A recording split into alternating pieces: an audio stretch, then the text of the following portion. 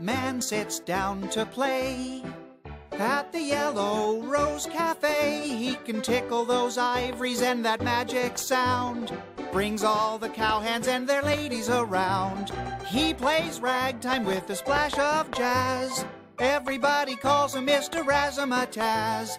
He makes that upright sound so grand. They call him Mr. Music of Nowhere Land.